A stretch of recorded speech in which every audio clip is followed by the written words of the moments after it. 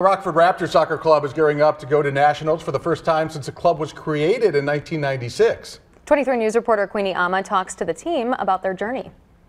So specifically, the U16 team was created eight years ago and has had much of the same 17 girls on the team. Now, over the years, the girls have created more than a friendship, and they say that's what has led them into the nationals.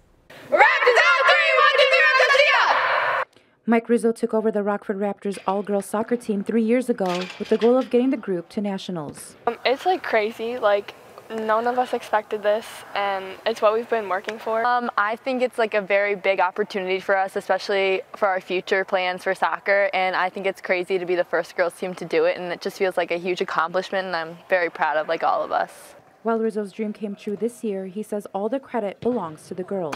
That the girls have put in so much work, um, and the parents uh, that you know we're really excited to be a part of this. Raptors earned a berth at Nationals and will travel to the tournament in July at the ESPN Zone in Orlando, Florida. The girls say this experience makes their bond even stronger. We've all gotten more close as teammates and as friends, and it just helps us on the field to know that we're all so close and get along so well. Um, it was really exciting. Like once the ref blew the whistle, like we all came together because we knew like we'd worked hard to get here and to win that game.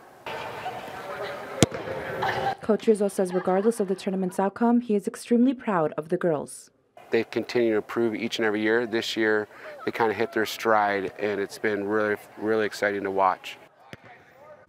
The tournament in Orlando runs from July 19th to the 24th. So only 16 girls soccer teams qualify for nationals. Quite an impressive feat. Mm -hmm, By feet. Yeah. By some impressive feet. yes. All right. Well, about a million Fitbit